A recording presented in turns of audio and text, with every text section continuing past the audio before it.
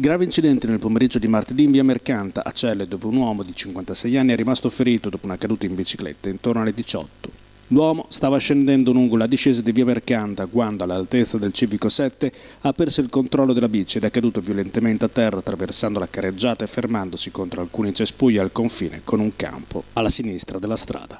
È stato richiesto l'intervento del 118 arrivato in via Mercante inizialmente con un'ambulanza, poi, viste le conseguenze della caduta per il ferito, è stato attivato anche l'elicottero di Romagna Soccorso. Per il ciclista un trauma cranico e una grave ferita ad un braccio. L'uomo, dopo aver ricevuto le prime cure sul posto, è stato quindi caricato a bordo delle mediche e trasportato al centro traumatologico dell'ospedale Bufalini con il codice di media gravità. Sarà ora compito della Polizia Locale della Romagna Faentina cercare di capire le cause dell'incidente. Secondo però i diversi residenti presenti in zona, la caduta potrebbe essere imputabile all'asfalto non proprio in perfette condizioni.